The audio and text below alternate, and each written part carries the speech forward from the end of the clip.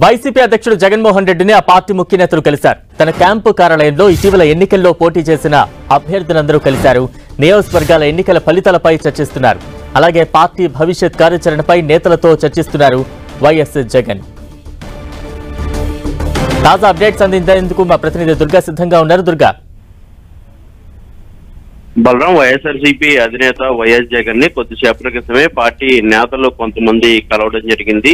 ఎన్నికల ఫలితాలు వచ్చిన తర్వాత వరుసగా ఎవరైతే పోటీ చేశారో పోటీ చేసి ఓటమి పాలైనటువంటి అభ్యర్థులు అలాగే పార్టీలో ఉన్నటువంటి ముఖ్య నేతలు వరుసగా కలుస్తూ వస్తున్నారు. గత నాలుగు రోజుల నుంచి కూడా ప్రతిరోజు కొంతమంది ఆ అభ్యర్థులంతా కూడా వచ్చి ఆ జగన్ని కలుస్తున్నటువంటి పరిస్థితి కనిపిస్తుంది. అయితే ఓటమి గల కారణాలకు సంబంధించి విశ్లేషణ అనేది జరుగుతుంది. ఎందుకు ఓటమి పాలవడానికి ఆ పరిస్థితులు దారితీశాయి? ఇంతటి దారుణమైనటువంటి ఫలితాలు ఎందుకు వచ్చాయనే దానిపైన కూడా విశ్లేషకుంటున్న విశ్లేషణ చేసుకుంటున్నటువంటి పరిస్థితి అయితే కనిపిస్తుంది. ముఖ్యంగా చాలా వరకు వైఎస్ఆర్సీపీ ఖచ్చితంగా బలంగా ఉన్నటువంటి స్థానాల్లో కూడా ఘోర పరాజయం చెందడం దీంతో పాటు భారీ మెజార్టీలతో కూటమి అభ్యర్థులు గెలవడం వీటన్నింటికి గల కారణాలు ఏంటి అనే అంశానికి సంబంధించి కూడా అధినేత నుంచి ఆ, నేత అభ్యర్థులంతా కూడా తెలుసుకుంటున్న పరిస్థితి అయితే కనిపిస్తుంది. అయితే వీటితో పాటు ఒక పక్క రాష్ట్ర వ్యాప్తంగా జరుగుతున్నటువంటి దాడులకు సంబంధించి ముఖ్యంగా అధికార పార్టీ నేతలు కొంతమంది అభ్యర్థులుగా పోటీ చేసినటువంటి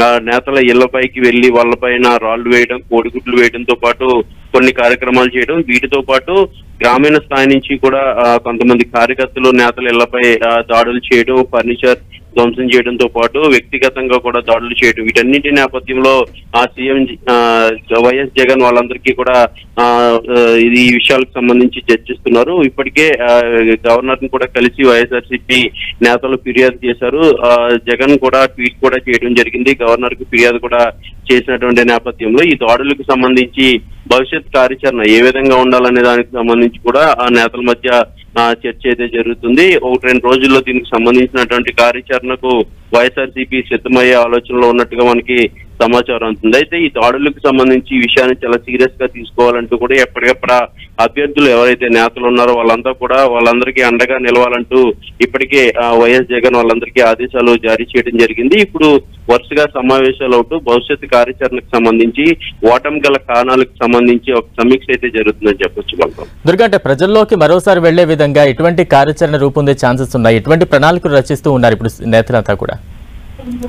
అంటే ప్రస్తుతం అయితే ఎన్నికల ఓటమికి సంబంధించి విశ్లేషణ అనేది జరుగుతుంది. ఎందుకు గల ఓ- ఓటమి పాలయ్యారనే దానికి సంబంధించి కూడా వరుసగా సమీక్ష అనేది జరుగుతుంది. ఎవరైతే అభ్యర్థులు వచ్చారో వాళ్ళందరినీ కలిసి వాళ్ళకి భరోసా అయితే వైఎస్ జగన్ ఇస్తున్న పరిస్థితి అయితే ప్రస్తుతం కనిపిస్తుంది. త్వరలోనే బయటకు వచ్చేందుకు భవిష్యత్ కార్యాచరణ కూడా సిద్ధం చేసుకున్నట్టుగా తెలుస్తుంది. నియోజకవర్గాల వారీగా లేదంటే పార్లమెంట్ జిల్లాల వారీగా సమీక్షలు చేసేందుకు కసరత్తు కూడా జరుగుతుంది. వీటికి సంబంధించినటువంటి క్లారిటీ అయితే ఈ నెలాఖరికి వచ్చే అవకాశం కనిపిస్తుంది. ఎందుకంటే ఇప్పటికే కొత్త ప్రభుత్వం ఇంకా కూడా మంత్రివర్గ ప్రమాణ స్వీకారం కూడా ఇంకా జరగలేదు కాబట్టి ప్రమాణ స్వీకారం జరిగిన తర్వాత పార్టీ యాక్టివిటీ అనేది పెంచే ఆలోచనలు అయితే వైఎస్ జగన్ ప్రస్తుతం కనిపిస్తున్నారు. వీటితో పాటు దాడులు ఎవరైతే పాల్పడు ప్రస్తుతం అయితే దాడులు సంస్కృతి అనేది మంచి పద్ధతి కాదు. ఈ దాడులను అరికట్టాలని ఇప్పటికే వైఎస్ఆర్సీపీ నేతలు డిమాండ్ చేస్తున్నారు. వీటికి సంబంధించి అయితే ఫోకస్ పెట్టారు. త్వరలోనే బయటికి కూడా వచ్చి కార్యకర్తలతోనూ నేతలతో కూడా సీఎం జగన్ వైఎస్ జగన్ వరుసగా సమావేశాలు కూడా నిర్వహించబోతున్నారు. Right thank you Durga